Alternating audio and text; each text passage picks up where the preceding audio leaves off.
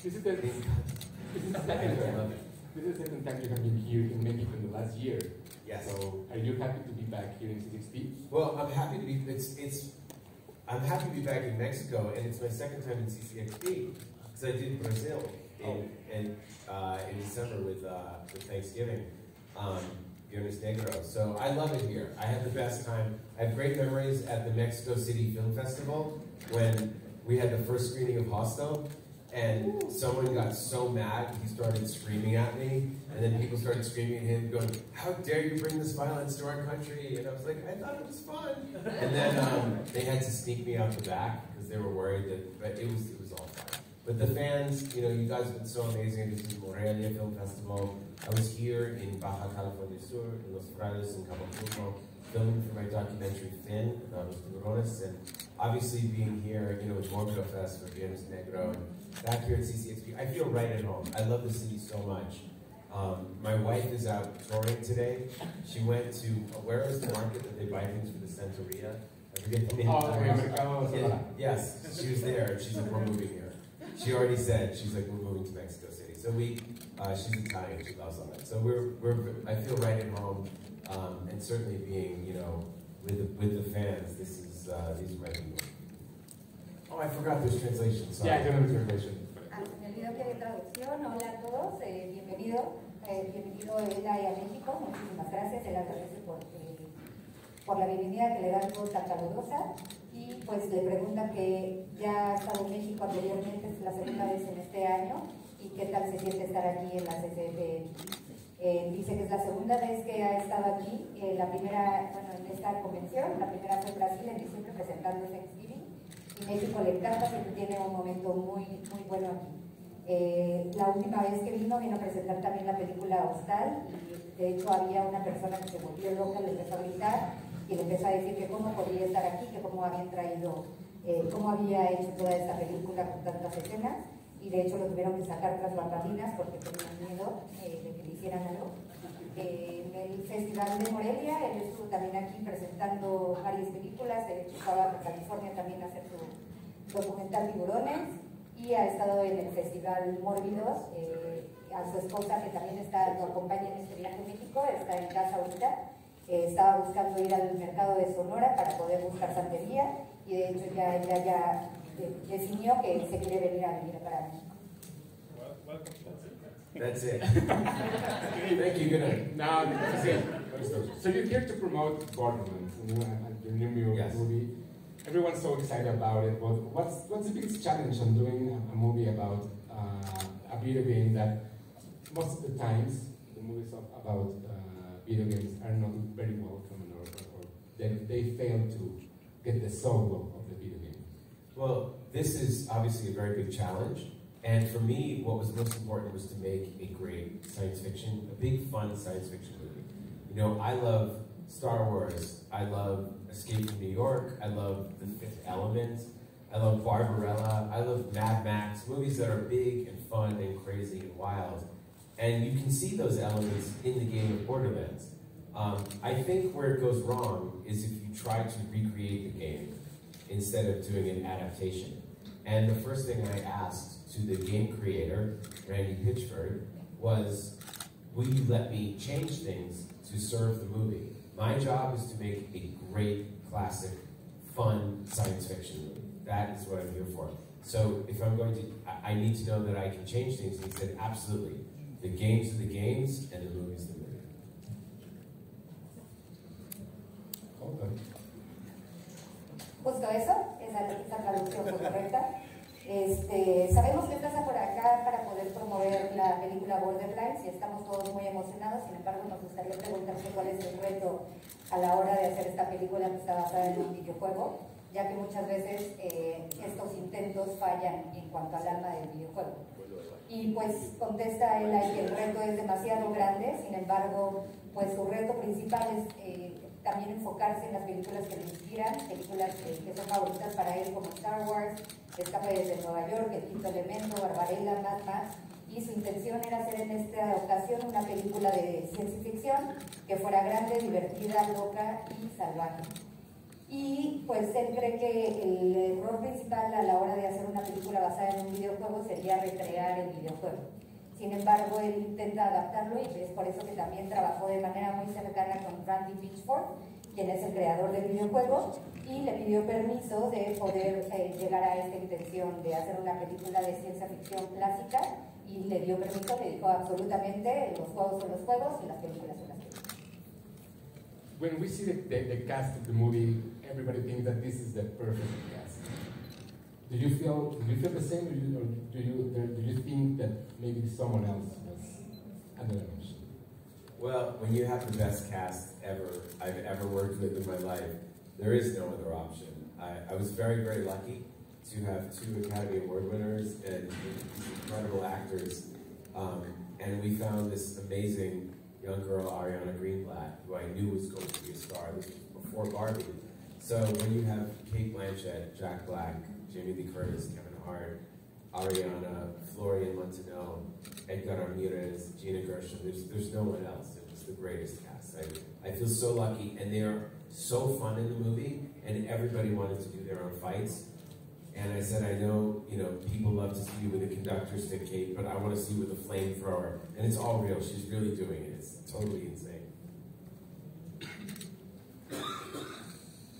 La siguiente pregunta es acerca del cast de la película, si el elenco es el que él, eh, cómo se siente con el, el, elenco, ya que todos aquí sabemos que podría ser el, el, elenco perfecto, sin embargo la pregunta es saber si él se siente igual. Y sin duda es el mejor elenco que ha tenido en su vida, no ve otra opción. Eh, tiene la fortuna de haber trabajado con dos ganadores de Academy Awards y entre ellos también un gran elemento es Ariana Greenblatt quien estuvo también seleccionada para esta película muchísimo antes de que hiciera Barbie, también Edgar Ramírez, eh, Kate Blanchett, Kevin Hart, Jack eh, Black, eh, Jamie Lee Curtis, Gina Gerson, etcétera, Edgar Ramírez. Es el elenco más divertido que podría haber seleccionado y todos al final de cuentas quieren entrar a la pelea a la hora de estar haciendo la actuación. Kate, por ejemplo, juega mucho con el lanzallamas y pues es lo mejor que se pudo haber hecho. So it's been almost, well, uh, almost 20 years of Costa. In Mexico, there's a huge fan base of Costa. Is there anything that you can tell us about something special? No. of course there's something special, but it's too soon to say it. But maybe very soon, something special will be said. I was hoping that the lawyers got something finished by the time we do this press conference. I'm sure I'll get the text message right after, but let's just say it's not even going to be special anymore because I'm saying something special is coming, but there might be something, perhaps, maybe. We don't know. Yes. Bueno, pues han pasado, han pasado 20 años desde la película, casi 20 años desde la película Hostal y tienes una, eh, un arraigo, una face fan muy grande aquí en México y quisiéramos saber si tienes algo especial que nos pudieras contar. Y la respuesta es definitivamente no. Eh, por supuesto que si hubiera algo especial sería muy fácil de decir. Eh, sin embargo, tal vez pronto, quizá me hubiera gustado que mis abogados me dijeran un mensaje antes de esta conferencia de prensa que pudiera comunicarles, pero tal vez justo después de esta conferencia de prensa tengamos un comunicado eh, oficial. Lo que les puedo decir es que tal vez, quizá, a lo mejor. Ask me again. Pregúntame uh, later más tarde at, at the omelet stage. Okay. I'm trying, guys. I'm pushing. There's gonna be something. There's something cooking. No, as soon as I say it, the lawyers go, sorry, it didn't happen. No, I shouldn't have said it. I feel like I'm superstitious. That's why my, my wife's at the Mercado now. Doing, you know. So if, so if I say it, it will ruin it. But if I don't say it, maybe it'll happen.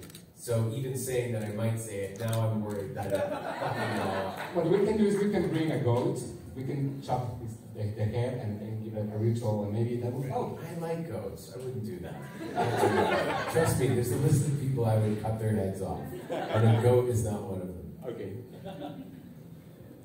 Bueno, definitivamente eh, la pregunta es algo se cocina quizá de manera lenta, pero pues, al final de cuentas él ahí es una persona muy supersticiosa, es por eso que también su esposa se encuentra en el supermercado de Sonora y él teme que si nos dice algo podría arruinarlo, entonces es mejor no decirlo, pero tal vez por tan solo estar diciendo esto ya lo está arruinando, entonces tal vez mejor no dice nada y le ofrecen la opción de hacer un ritual, tal vez con una cabra y definitivamente no lo quiere hacer porque a él sí le gustan las cabras y tuviera que cortarle la cabeza a alguien, definitivamente no sería una cabra. Okay, so next question. I, I know that you've been working a lot in Latin America and Argentina. Yes. Chile, some stuff. Chile, yeah. Is there any Mexican actor that you you would like to work, or do you, do you follow some someone? Yes, well, I love being contest Mexican cinema, Mexico, um, Mexican cinema. I love, obviously, Narciso Ibáñez Serrador, Bernardo Niño, La Residencia. I love Taboada, The Poison for the Fairies. I love Chido El Gato. Um, and, you know, I've seen Issa Lopez and Gigi Guerrero's films lately. I loved uh, Huesera the Bone Woman. Uh, Dini Bichir is an actor I'd love to work with, but I really, I would really lo- love to find something with Eugenio Derbez. And I love for real. For real. No, I, I know you, and we see each other, and I've tried. Like, there's like four times where I tried to get Derbez in the movie, in a movie that I've been doing, uh, and the timing has never worked out. But he's so funny, and he's such a good dramatic actor, and such a nice guy that I'm like dying. I would love to. I seen, I love, I seen Derbez, but I would love to work with him. Well, there you have it. Ahora la pregunta es, eh, sabemos que trabajas, has trabajado mucho en América Latina, en Argentina, en Chile, pero nos gustaría saber si hay algún actor mexicano con el que te, quer- te gustaría trabajar o a quien sigas. Y definitivamente el cine mexicano me encanta, me encantan películas como La Residencia, Tahuada, La Noche del Gato, eh, me encantan actores como Gigi Guerrero, Isa López, eh, Los Escritores, eh, Tini Bichir. Sin embargo, con Eugenio Derbez, pues es una persona que me gusta mucho como actor. Eh, tiene, hemos intentado trabajar ya como cuatro veces en alguna película mía, sin embargo, pues el tiempo no lo ha permitido, no hemos tenido la oportunidad. Sin embargo, Derbez hace una persona muy divertida eh, muy, y es muy buena persona, también muy dramático. Entonces, en algún momento me encantaría poder trabajar con él en una Returning to Borderlands, what was the biggest challenge doing this movie? COVID. Uh, COVID was very difficult. Uh, look, when you, when you make a movie, you want to, you know, recreate and build the world. So I, I love to build things physically, and I wanted as much of the environment as possible. And we filmed in Budapest with the art department that had done Dune, so we could really, really build the cities and the vehicles. It was incredible how much we could build. But then when you're shooting, you have, you know, the most beautiful sets I've ever walked on. It was absolutely incredible for this, this insane, insane world. But if one person in one department tested positive for COVID, it would cause all kinds of problems. So it, it, it just was very, very challenging, but we did it. We got through it. Um, but that, that just added a level of chaos and insanity that I did not expect. ¿Y cuál fue el reto más grande a la hora de hacer Borderlands? Definitivamente COVID. COVID fue una de las partes más difíciles y los retos más grandes. A la hora de intentar hacer una película queremos recrear y construir los mismos mundos, construir, construir los sets de manera física. Estuve también trabajando en Budapest para la película Dune y pudimos construir ciudades, vehículos y de hecho eh, tener unos sets increíbles. Y a la hora de grabar, pues todos estos sets increíbles y este mundo tan, eh, tan loco, pues se volvía aún más loco cuando alguien salía positivo en COVID y esto nos representaba muchos problemas, muchos retos. Sin embargo, lo logramos, aún así con estos niveles de caos y de locura. You're talking about the production designer and, and, everything that goes around the, the department art. But I think that in this movie, what we have seen in the trailer is that cinematography is a big thing. Who's your cinematographer and how was it working with you? Uh, my cinematographer is an incredible DP named Rogier Stoffers. Uh, he films, he shot The House with the Clock in its Walls for me, and what he did with that movie and gave it such a beautiful mood and elegance. I wanted to see him apply that European poetry to a science fiction film. And I love the way he lights, and I wanted Cate Blanchett to look just incredible and electric in a way we had seen before. Um, and the way he lit the backgrounds and the cities, there's, it's, I wanted those colors of the fifth element, something that's bright and really poppy with lots of pinks and oranges and yellows. Like when you when you see the colors of the trailer, very reflective of the film. So even in the wasteland, it has to look beautiful. And we shot uh, on the spectacular Alexa 65 camera. Um, and he had never shot a movie like this before, but we really, we really, really had a great time. And then Milan Chadima, who shot Hostel and Viernes Negro with me, was the second unit DP. So if there was action unit, Milan was doing the action, and Milan has done a lot of action. So it was a great mix of the, the two DPs, but it was all under Ohir's lighting.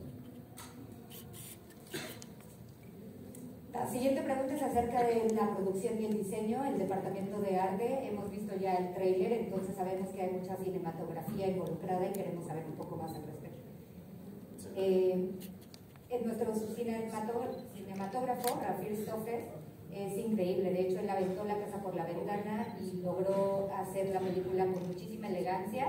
Una película de ciencia ficción que podría parecer o resemblarse a una, a una poesía europea.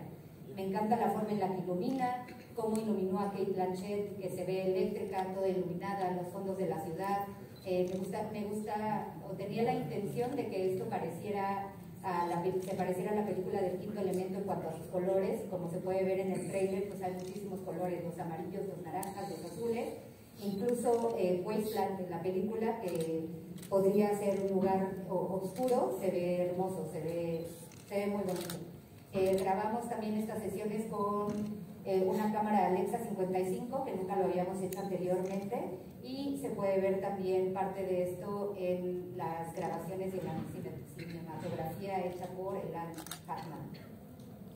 You're talking about the, the, the, new, Alexa camera, when we started filming, there wasn't all this technology available. How do you feel 20, 20 plus years later that everyone can shoot a movie with an iPhone or with another video camera and, and, and just make a movie with it? I think it's great. I think we're going to see the next generation of directors. You know, for me, as a director, when someone makes a film on an iPhone and it's better than something in the cinemas, I think it's fantastic. I love it. Because that's, that, I would have been that kid. I wanted, oh, we just had VHS and Super 8. So I'm, you know, with Crypt TV, I was trying to do stuff digital short form, and I just made a VR short for Meta called The Faceless Lady, in 3D VR. So I'm always interested in whatever the new cutting edge technology is. But everybody has such great stories to tell, and now you can shoot a film on your phone and put it on YouTube, and the world can see it. So I think it's really, really opened up cinema in an exciting new way. I love it. I, I just, the more the better. Just make it great. But now there's a lot more competition.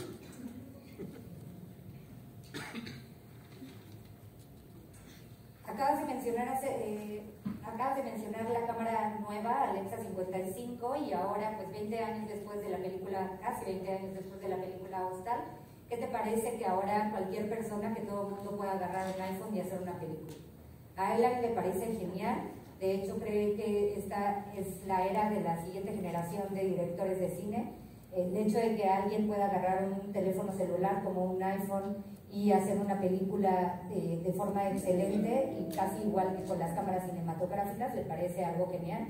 Incluso la transición de aquella tecnología, ¿no? Con los Super 8, él hizo también alguna vez alguna película con BR Short y le interesa muchísimo la tecnología y los nuevos pasos en cuanto a las cámaras y también considera que todos tienen alguna historia que contar y pueden subirla ahora simplemente a YouTube y que todo el mundo la vea él le parece que entre más, esta idea le encanta y entre más mejor, sin embargo, pues ahora hay más competencia. You're talking about the Latin American cinema and these new waves of, of people doing movies. What, what was the last movie that really shocked you or, or made you feel something special when you, when you watched it? You were talking about yeah, uh, sure. about. Yeah, well, the film that really blew me away was the Argentine movie When Evil Lurks directed by Damien Rugna. It was so good and so fun. I went back and I watched his first film. I think it's Atrados. Atrapados. Atrapados. How do you pronounce it? Atrapados. No? Atrapados. Yeah, love, love, love, love. So he's he's like one of the most exciting directors right now. And then Huesera the Bone Woman I thought was terrific. But the one that really made me go, and then Talk to Me, I think those guys were fantastic directors. But when I saw When Evil Lurks, I thought, yeah, this is this is exciting. Did, did that make you feel maybe jealous that you didn't shoot it? Because I think that's something that you could have or you have already done. I don't know. You know, I'm too old to feel that. I just, I think er, back in the day when it was me and the Saw guys, if someone did a great time, oh, I gotta beat them. And you always have that competitive edge.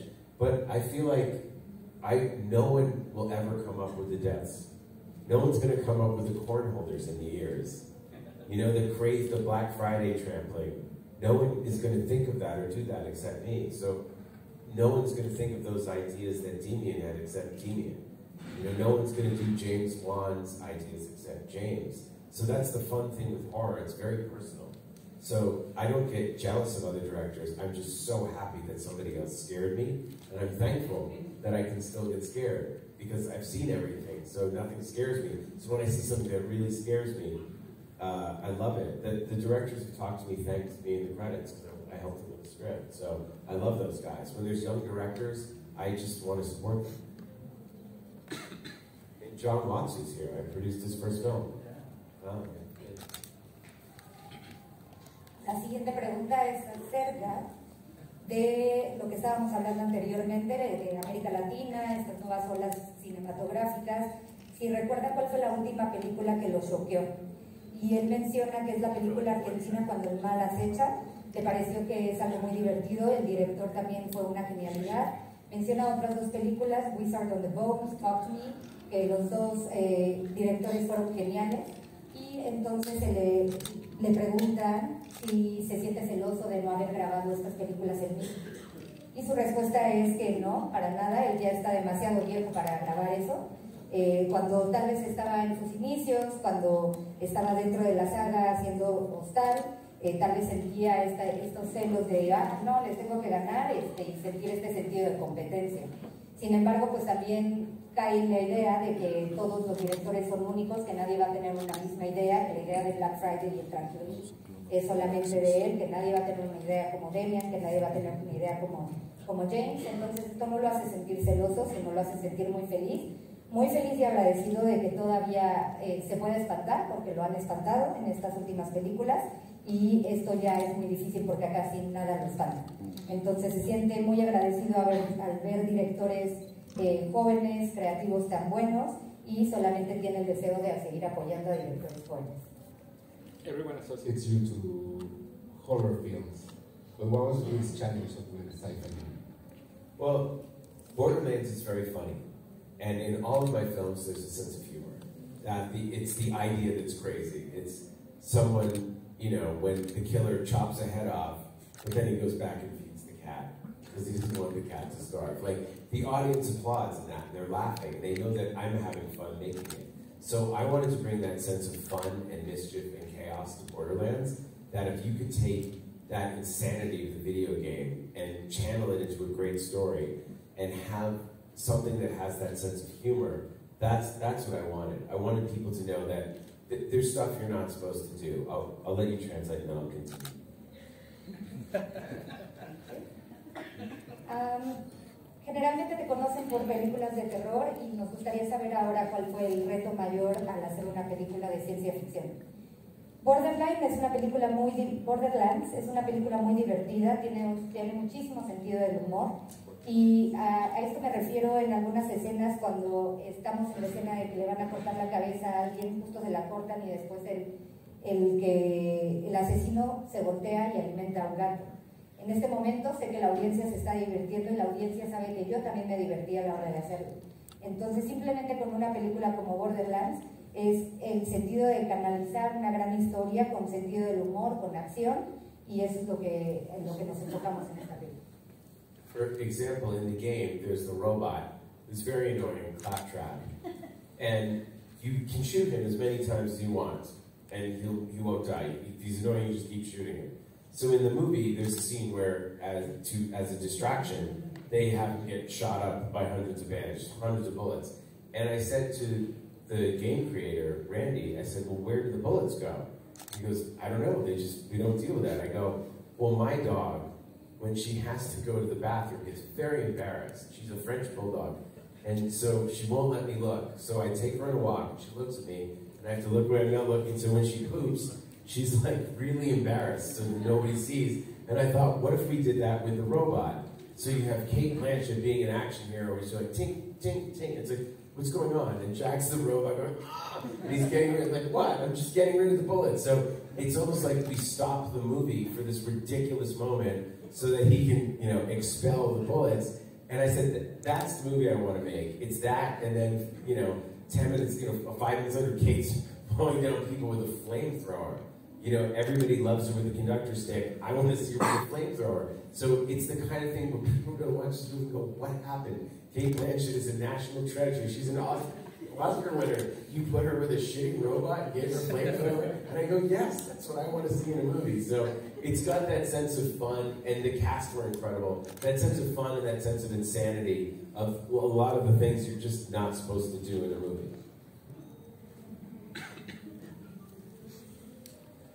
Eh, solamente como para darles un ejemplo acerca de lo que quería decir con mi oración previa, es, por ejemplo, en el juego hay un robot muy detestable, eh, se llama Claptrap, y a este robot le puedes disparar 100 veces y no se muere, por eso es detestable y a todos nos, a todos nos choca.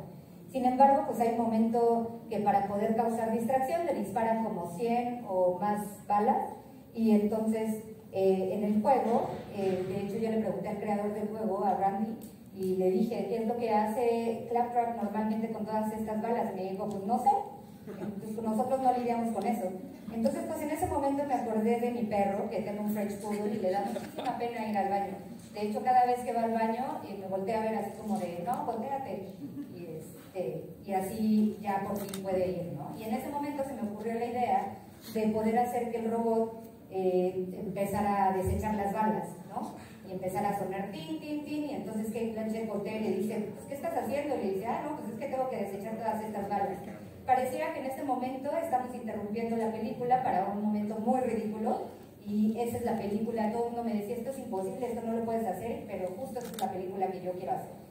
Estar esperando cinco minutos a que Claptrap deseche todas estas balas porque toda la audiencia en verdad lo que quiere ver es a Kate Blanchett utilizando el lanzallamas. Y todo el mundo está así como de, ¿qué pasa? ¿Y qué voy a hacer ahora con ese robot? Entonces, pues sí, increíblemente el elenco es lo mejor y es lo que a mí me gusta mucho de esta película. In, Mexico, in Mexico there are directors that do horror and there are, they do comedy. Do you have any advice for them? Yes, make it funny, make it scary. En México hay muchos directores que hacen tanto películas de terror como películas de comedia. ¿Tienes algún consejo para ellos? Sí, claro. Háganlas divertidas y háganlas espeluznantes. But horror is very much about crossing the line. It's it's your it's a transgression. You're doing something you're not supposed. You're watching something you're not supposed to. You can go too far and you'll turn off an audience. You want people to say what happens next, what happens next. And the great comedy, the best comedy, it's something that's, for me, that's totally inappropriate and can be offensive. But if it's more funny than it is offensive, it's, it's the best. Uh, uh, both a scare and a laugh are involuntary responses. You can trigger a laugh by tickling, but it's not real. You can trigger a jump by a loud noise, but that's a reflex. But when you get someone genuinely laughing and genuinely scared, it's an incredible release and it has to be earned. So just don't be afraid. And you're going to offend people. People are going to write terrible things about you. You truly have to love the movie so much you just don't care.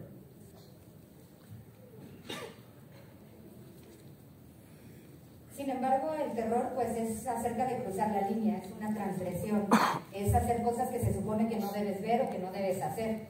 Y algunas veces, pues, al irnos tan lejos, podríamos apagar la audiencia. Y mucha gente podría también preguntarnos, pues, ¿qué más viene, no? ¿Qué es lo que sigue? Ahora, con la comedia, pues, podría resultar también ofensiva. Más ofensiva que divertida. Y el punto es hacerla todavía más divertida de lo que pudiera ofender. Eh, normalmente, pues, el terror, espantarse o reírse son respuestas involuntarias. Sin embargo, para podernos reír y si nos hacen cosquillas o nos ponen un sonido muy fuerte que nos espante, no son eh, sentimientos genuinos. Al lograr este sentimiento genuino por medio de las películas, en verdad se libera algo genial y es algo que no deberían de tener miedo como directores. Puede que ofendan a muchas personas, puede que mucha gente les escriba cosas terribles, pero el punto principal es querer tanto la película que no les importa. So, Eli, thank you very much for your time. It was a pleasure. And I know you have a surprise oh, for later on. Well, it's not really a surprise if you say that surprise is coming. we have, we have a talk later on. It's like saying, are you doing something with Hostel later on? I am having a talk later on, and well, now you won't be surprised if there's a surprise, but there might be a few surprises. So everybody act surprised if the surprise surprises you.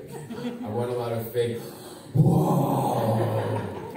what is, how do you say, how, so, what a surprise, hey surprise, what? Sorpresa. Hey surprise.